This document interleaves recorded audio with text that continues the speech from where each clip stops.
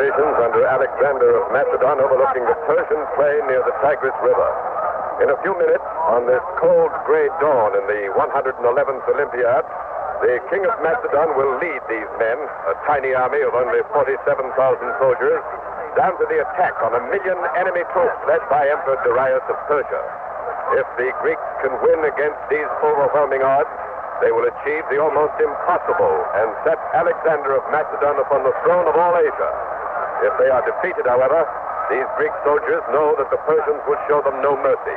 They know that the stake today is literally victory or death. Can the Greeks win against the terrific odds? That's the question uppermost in the minds of every officer, every foot soldier, every October 331 BC, Persia. You are there. Alexander of Macedon about to attack Darius of Persia. 47,000 Greeks against 1 million Persians. CBS takes you back more than 2,000 years to the most amazing gamble in all military history. All things are as they were then, except for one thing. When CBS is there, You are there. You Are There, produced and directed by Robert Lewis Shayon, is based on authentic historical fact and quotation. Today's broadcast, The Battle for Asia, is part two of a trilogy.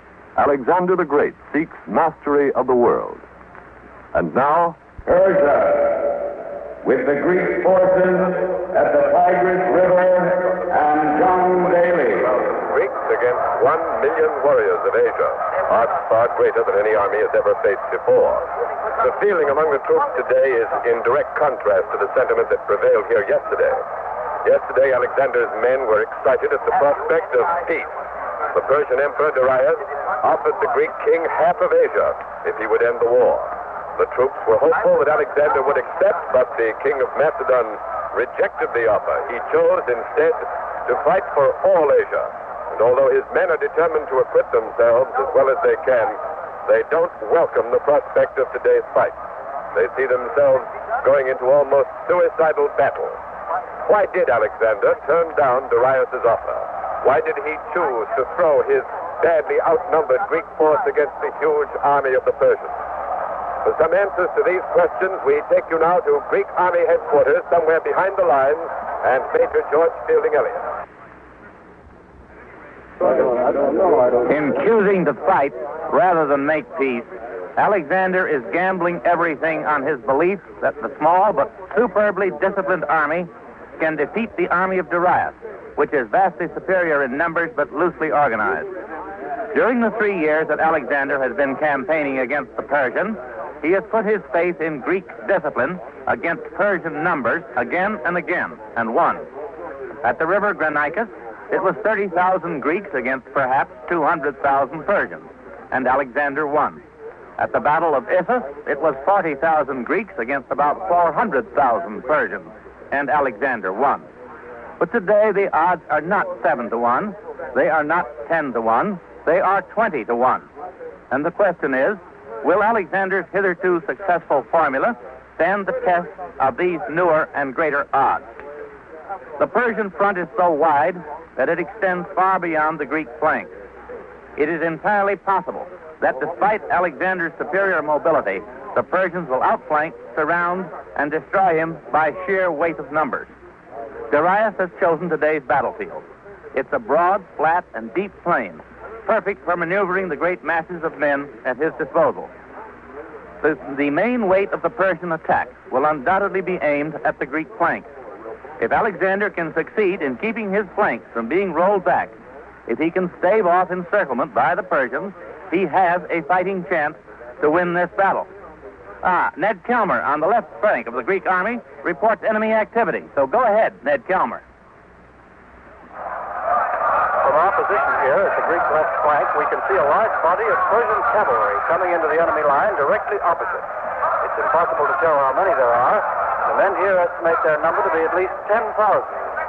These men are going to have to fight against those Persians when the battle begins. So let's get their reaction to that additional enemy cavalry. Here's Admiral Mercenary with me now, a professional soldier, a veteran about 40 years old. He tells me his name is Nearchus. Where are you from, Nearchus? Men who fight for a living don't have any particular home. Oh, I guess they don't. Well, where were you born? Sparta. What uh, unit are you with, Nearchus? The javelin throwers. Oh, those, then you men will be among the first to engage the Persian cavalry. How do you feel about that?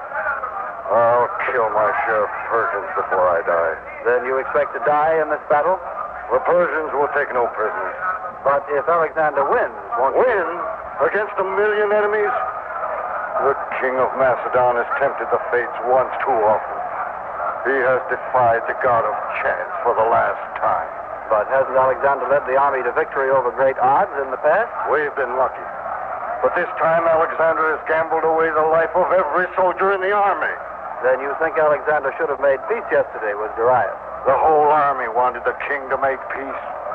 Even the war council advised him to accept the Persian offer. But Alexander wasn't satisfied with half of Asia and all. He must have all Asia. He wants to conquer the world. The world! We'll fight. But the only Persian soil we'll win is the soil they bury us in. But I'll kill my share of Persians before I die. Thank you, Nearchus. Now, yes, if I'm to die, I'll take my share with me. Yes, I know you will. Thank you again, Nearchus. The soldier with us now, judging from his armor, appears to be a cavalryman. Is that right, soldier? Yes, I'm with the Athenian mounted auxiliaries. Will you tell us your name, please? Pausanias. I assume you're not a mercenary, Pausanias. You're one of the Athenian conscripts. Yes, we were conscripted to serve by the Athenian city council. I don't blame the city councilors. They had no choice. Much as they hated Alexander, they were forced to conscript us for his army. Alexander would have put Athens to the sword if the council refused. Yes, I remember. I haven't seen my wife and children for five years. They must think I'm dead. I'm sorry, Pausanias. They've been bad years, too, fighting in the service of a despot. Watching these Macedon barbarians looting and murdering innocent people. But it's almost finished. Just one more battle. Then I'll go home. You expect to go home after today's battle? Alexander has sworn to release us from our service when he becomes king of Asia. Then you expect to win here today? I've waited a long time for this battle. We'll win if I can help it. Do you think it's possible to win in spite of the odds? In spite of anything, we must win. Otherwise, I'll never see my family again. Well, you certainly have our best wishes today, Pausanias. Thank you, sir. Now, here's another soldier, a young fellow wearing the armor of the Macedon phalanx, one of Alexander's own countrymen. What's your name, soldier? Amyntas. Amyntas, that's a familiar Macedon name. How do you feel about the Persian cavalry? A few thousand Persians, one way or the other. It's all the same to me. One Macedonian is the equal of a hundred Asiatics. Then you aren't worried by the enemy's numbers. Worry? We'll scatter them as sheep scatter before a tiger. We've done it twice before, and we'll do it again. Before the sun sets today, our king will rule Asia. What makes you so sure, soldier, that you're going to win today? Alexander is invincible. A god born to rule the world. Our king has crushed every enemy that dares Excuse me. Something is happening in the center of the Persian line, and it's causing a great deal of excitement here among these Greek troops. The enemy seems to be leading a number of huge animals out in front of their position. John Daly, in the center of the Greek line, must have a better view of them than I have, so go ahead, John Daly. We've moved forward about a 100 yards in front of the Greek line with several officers to get a closer look at those animals. I count four, seven, twelve, at least 15 of them. Great, hulking, four-footed monsters. Each one must stand about 10 feet high, weigh ooh, easily several tons. Their hides are gray in color. Each foot is as thick as the trunk of a tree. They seem to have long, flapping ears and tusks protruding from their jaws after the fashion of wild boars. Their snouts are long and flexible. Uh, you'll probably find this hard to believe, but their snouts reach almost to the ground. The bodies of the beasts are covered with plates of armor, and the, the animals have platforms lashed to their backs, probably for fighting men to ride on. General Parmenion, Alexander's chief of staff and commander of the Greek left flank, is coming up to this point now on horseback. Several staff officers are with him. They're probably coming up here to get a closer look at the Persian beasts. Uh, Greek travelers to Persia have brought back tales of terrifying animals such as these. and I think they call them elephants. Apparently, the Persians have trained these beasts for use in battle, but uh, just how they'll use them is anybody's guess. General Parmenion is uh, dismounted. He's looking across the plain to the Persian line, uh, studying the strange beasts. Let's see if we can get a statement. Uh, General Parmenion! Uh, General Parmenion, sir.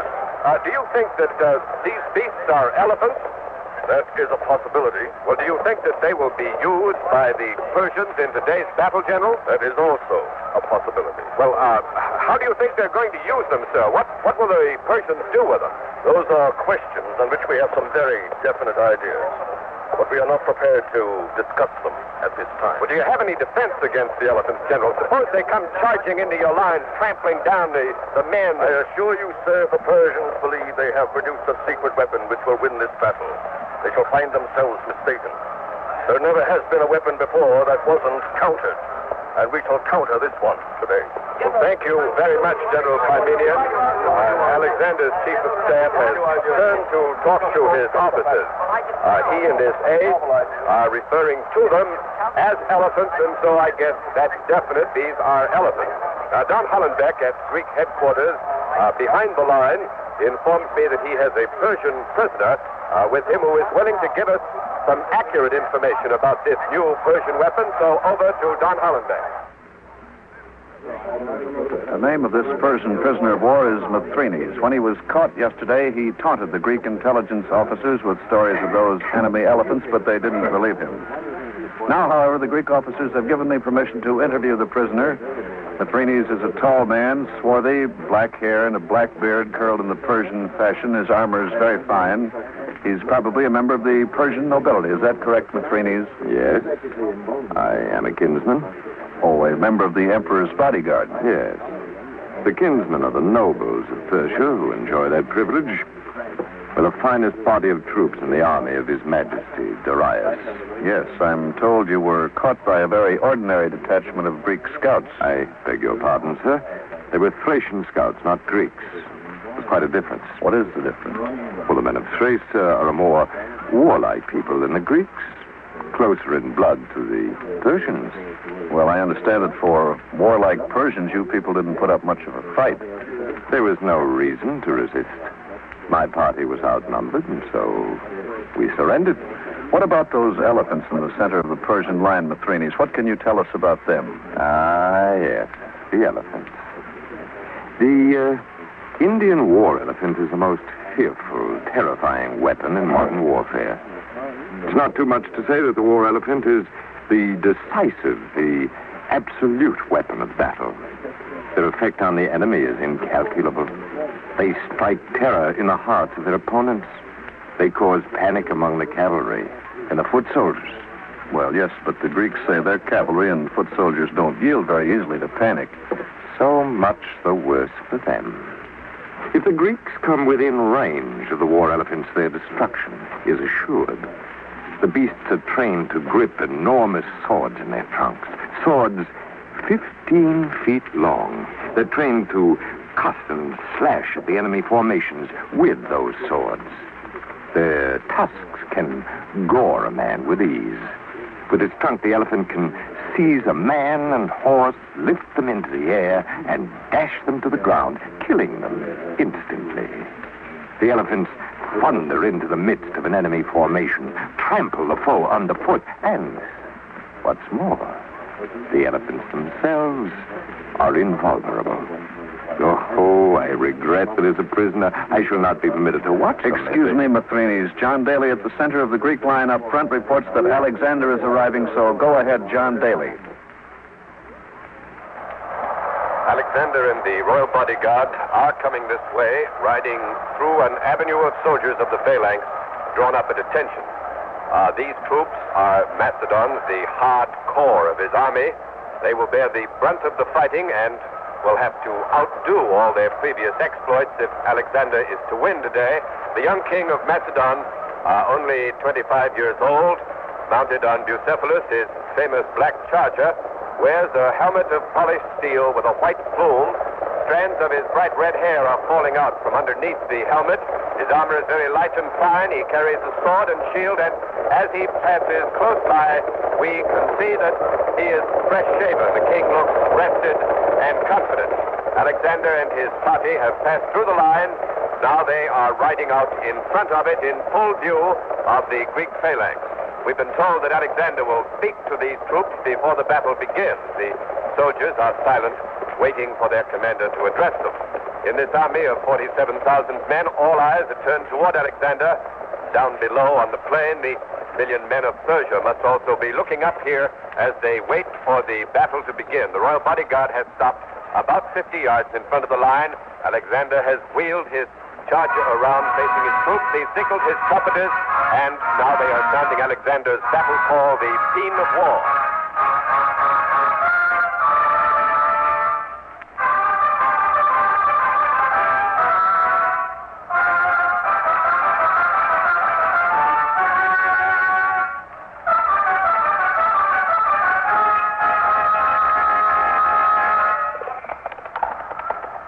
Alexander has spurred Bucephalus toward his troops walked through, and is addressing the. Soldiers of Greece, I shall not attempt with many words to stir you to valor. I ask only that you remember your heroic deeds of the past. Their memory shall be enough to incite you to glorious triumph. Have faith in me, your commander. I have led you from victory to victory. Remember, this time we fight not for a mere city, not for a province. The prize today is all Asia. I admit the task is difficult, yet the battle must have only one outcome. We must destroy the enemy. If we fail, there is no retreat. Behind us are the river Tigris, the Euphrates, and countless miles of enemy land. We must advance and conquer. Alexander has turned his charger toward the enemy, raising his arms high, sword in one hand, shield in the other. The king of Macedon lifts his oh. eyes to heaven and speaks once again. O Zeus, ruler of the gods, all powerful, lend your divine aid to my army.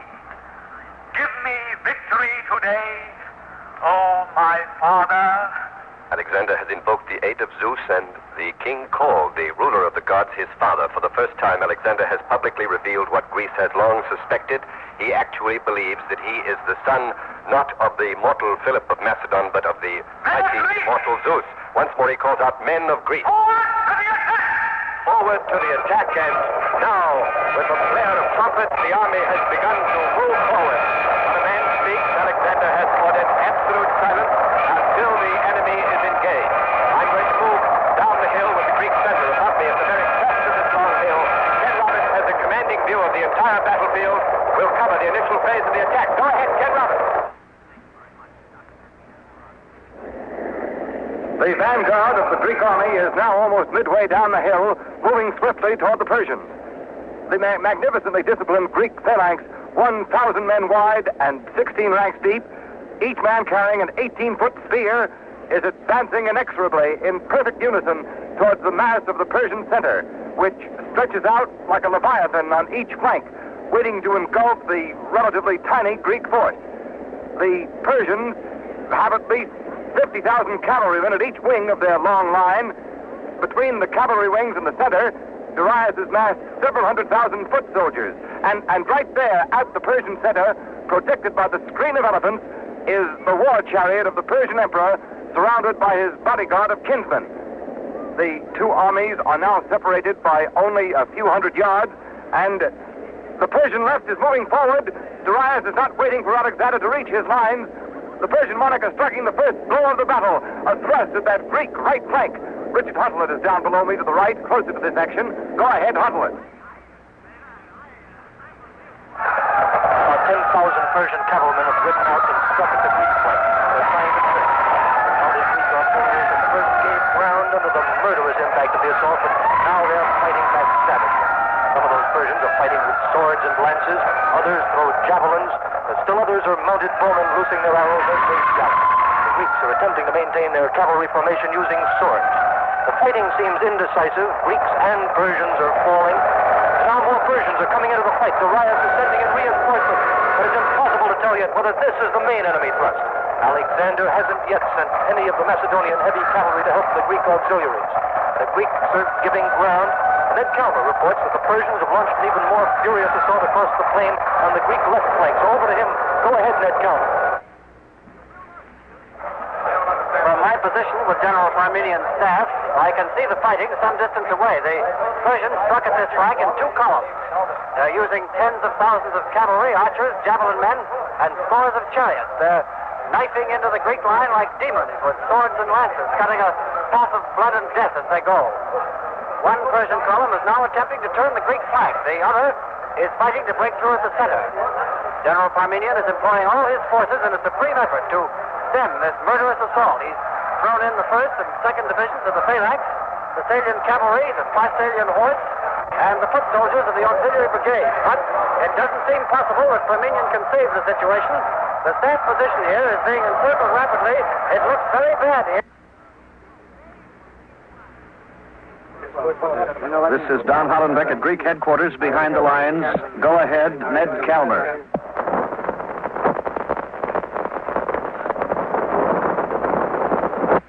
Go ahead, Ned Calmer.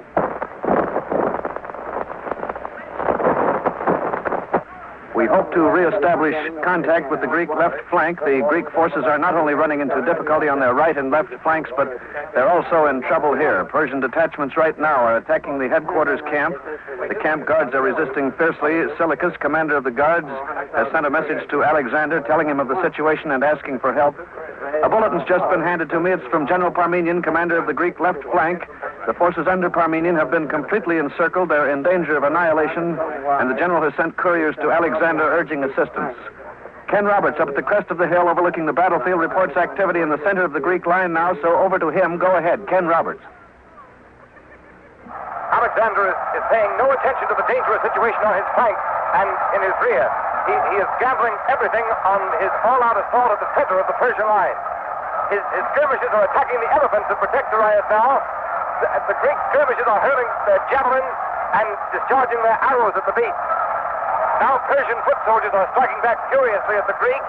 They're trying to defend their elephants. A wild fight is surging around the feet of the elephants. If Alexander can break through that screen of elephants, he can get to the Persian emperor himself. And it appears that's what Alexander is trying to do. And, and now, now the elephants are rearing up, trumpeting with rage. They seem to become maddened by the wild crowds of battle and, and the wounds that the Greek skirmishers inflicted on them with spears, arrows, and javelins. But now, now the elephants are thinking they're out of control, and they're turning around, charging back into the Persian line. They're stampeding the enemy. The absolute weapon that Darius on to win this battle is turned against him. And the way is open now for Alexander to get to Darius. The, the king of Macedon is taking advantage of it. The Greek weapons are sounding the charge. Alexander is leading the attack. John Daly is running out a broadcast from a vantage point close to and overlooking the center of the line. So go ahead, John Daly. Go ahead, Daly.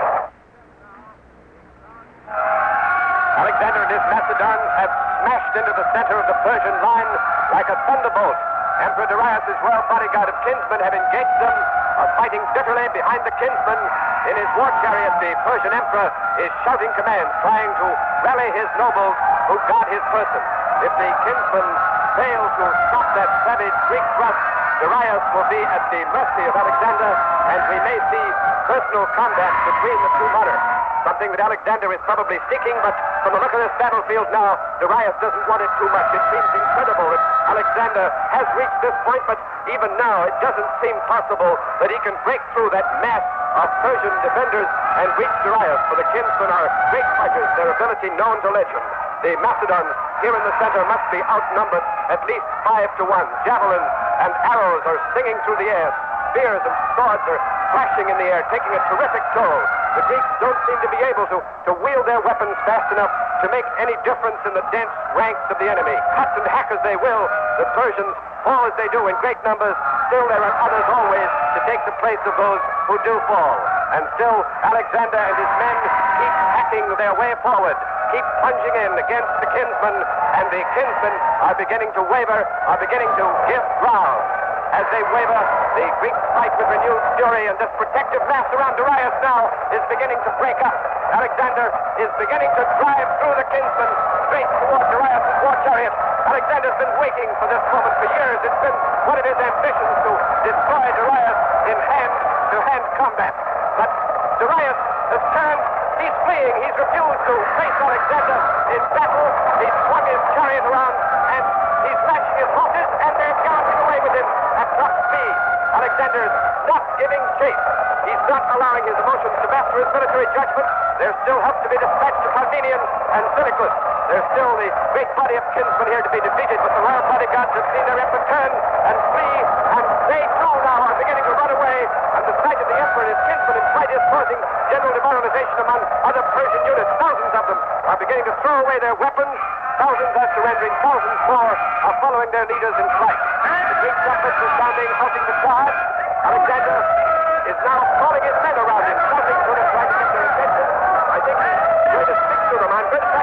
now. It's only a short distance away. We're moving through a throng of excited, exultant Greek troops. Their faces are alight with shock surprise. They never believed this would happen. Most of them were certain this battle would be their last, but now they smell victory in there, although they're still fighting up there on the flanks in the rear. Someone has handed Alexander a captured Persian banner. He's waving it aloft. Uh, we're as close as we can get now. Alexander has the attention of his men.